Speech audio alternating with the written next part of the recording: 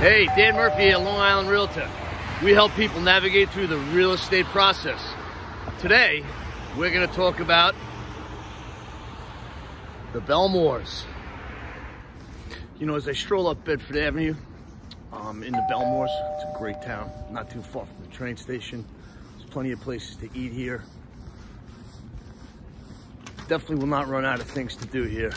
And uh, in this video, I'm going to give you a market update of the Bellmores as it pertains to real estate. So without any uh, further ado, January 2021, Bellmore, New York, 10 homes listed, 22 homes closed, 15 homes went under contract, three listings expired.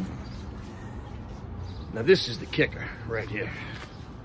The average sale price was 600 for the month of January, the average sale price was $641,500, up 30% from January of 2020. There are currently 40 homes listed for sale on the market in Bellmore, and the average list price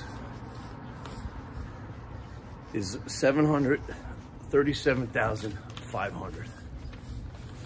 So I'll tell you, um, it's a it's a great little town. So I'm walking up here. I'm coming over to my favorite cafe, the International Delight. They have about 120 ice cream flavors in this place. Right over there on the corner. Delicious, great place to eat. All right, guys, I hope you found the information helpful. See you in the next video. Take care.